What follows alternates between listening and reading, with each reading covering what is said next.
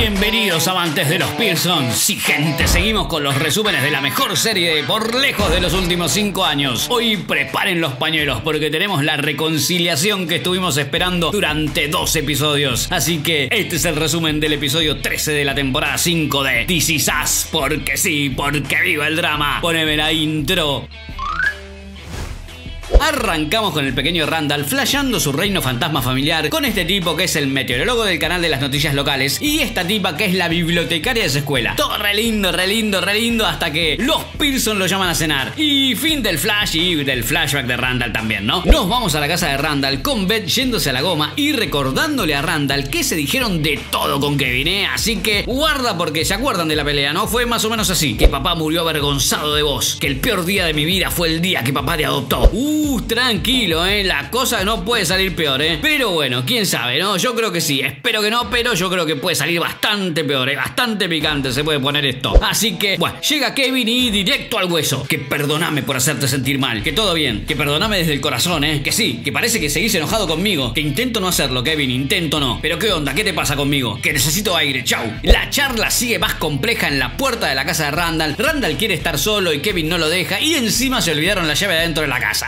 Así que mientras le piden una llave de repuesto a una vecina, siguen discutiendo. Que discúlpame por no defenderte cuando te maltrató el padre de mi compañera en el baile de graduación. Que tranquilo, que me provocaste heridas raciales que no fueron intencionales. Que no sé, que lo único que fueron fueron deliberadamente ignorantes. Que perdóname, que me comparabas con los personajes del príncipe de Bel Air, boludo. Que no era mi intención. Que me criticabas por no saber rapear, chabón. Que te molestaba porque en realidad estaba muy celoso de vos. Que te molestaba eso o simplemente te molestaba mi color de piel. Uf, bueno muchachos, cálmense un poco porque estaban a esto de amigarse. Me quiero morir. Que el día que fui adoptado fue el peor día de mi vida, ¿sabes? Porque perdí a mis padres biológicos. ¿Podés entender eso? Que sos un ingrato. Que no, nada que ver. Yo estoy muy agradecido de nuestros padres, pero nunca se me permitió expresar este sentimiento de tristeza. Que nunca te censuramos. Que estuve en una prisión emocional siempre, Kevin, durante años. Uf, bueno, la discusión sigue adentro de la casa sin parar, ¿eh? Que vos hubieses preferido que nunca te adopten. Y nada, bueno, acá cuestión hay que poner un poco de paños fríos. Y entonces Randall le explica a Kevin el concepto de su grupo de terapia, los reinos fantasmas. Un lugar donde imaginan la familia que habrían tenido si no hubieran sido adoptados. Y la cuestión es que en el reino fantasma de Randall, que creó cuando tenía 5 años, sus padres eran el meteorólogo y la bibliotecaria. Pero ¿saben qué? Que siempre me sentía culpable por amar demasiado a nuestra familia. ¿Que por qué? Porque los Pearson siempre estaban en mi reino fantasma, ¿entendés? Siempre estaban ustedes. Y entonces, por fin, Kevin y Randall se miran, se dicen lo mucho que se quieren y se abrazan para siempre. Tremendas actuaciones, gente, tremendo episodio donde Randall y Kevin por fin logran reparar su relación que tocó fondo al final de la temporada pasada y ahora por fin es hora de barajar y dar de nuevo. Pero guardaron los pañuelos, sí, porque lo mejor llega ahora, ¿eh? en el final. Ay Dios, cómo lloré. ¿eh? La escena no dura más de 30 segundos, pero fueron suficientes para sentir la tremenda patada en el pecho de la angustia. Randall duerme, duerme y sueña con su reino fantasma, una familia. Esta vez esta familia está formada por Laurel y William. Y qué fuerte todo esto, ¿eh? Porque amamos a los Pearson, pero necesitábamos esta escena. La necesitábamos en nuestro corazón. Qué grande y enorme